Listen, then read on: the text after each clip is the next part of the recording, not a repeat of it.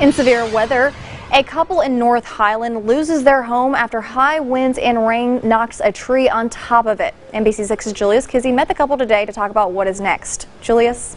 Alex, the husband, was celebrating his 70th birthday when he received a present he was not expecting. The house just like a bomb went off. A family is sitting in their front yard because they could not get back into their home. Well, at first all I felt was the house shake. And then all of a sudden it was just like a big kaboom, like th- a big clap of thunder came over it. And then the house really started to shake and everything started falling. Sharon Walters was inside with her dog Toby, and her husband walked into their home to celebrate his 70th birthday. Suddenly, a tree fell into their kitchen, just missing them. See daylight through the through the roof, you know, and, and it, like she said, it just barely missed us, you know, just a few feet.